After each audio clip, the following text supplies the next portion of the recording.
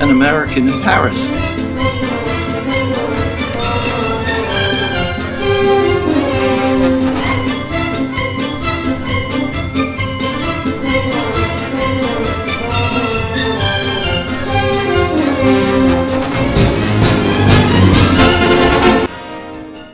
It's such a privilege to get these American awards, and you will see it in front of the hotel.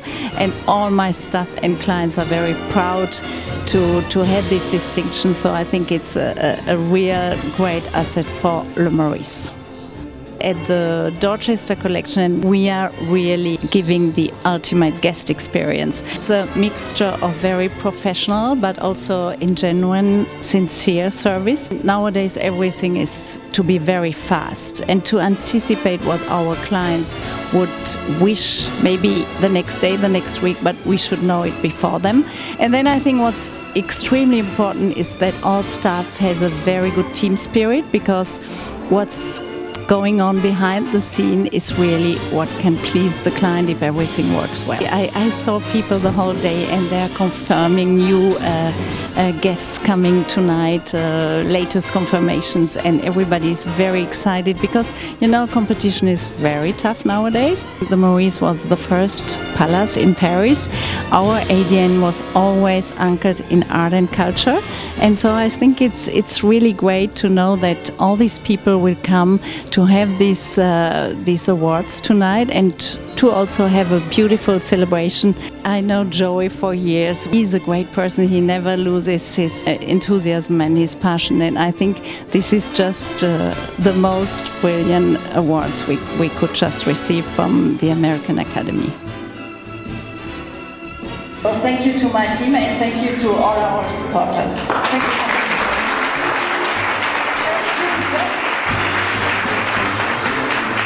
Years of excellence, that's a lot of consistency. So at this time I'd like to call up Roberto Serrallés, who is the family founding member. His father actually founded the company, but he is now taken it to even a deeper level with a lot of sustainability and environmental practices, and they are just leading the way in rum production quality. So Roberto, please join me on the stage.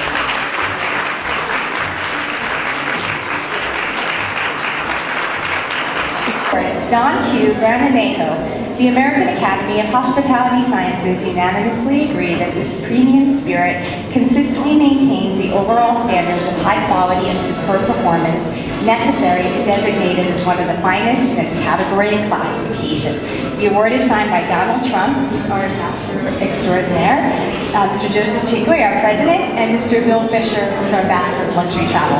Congratulations.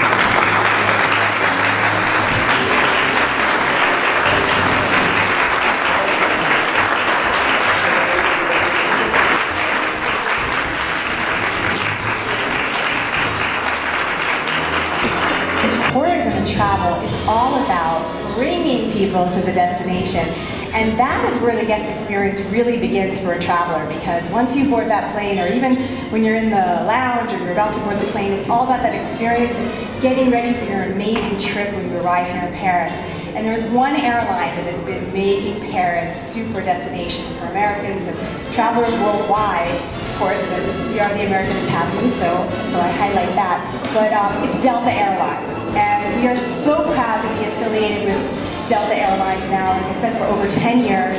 And we have honored them uh, at our annual celebration in Cannes. And thank you so much for joining us here in Paris. And I'd like to invite the three of you, Perry, Beatrice, Christine, please join us on the stage to receive your award for 2015.